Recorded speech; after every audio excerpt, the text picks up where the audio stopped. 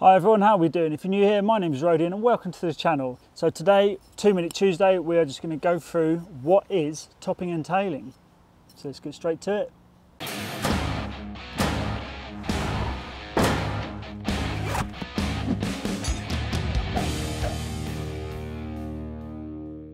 I'm going to try and do something that I've never done before in this two minute Tuesday and that is actually stick to two minutes. So two minutes on the clock somewhere on the screen and then let's get going.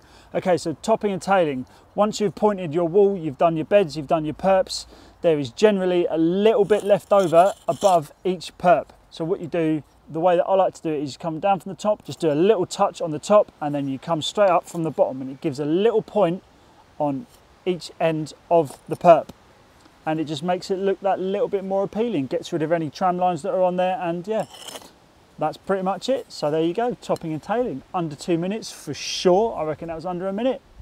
If you enjoyed this video please do leave a like down below. Subscribe if you aren't already. Ring the notification bell to be notified every time i upload a video.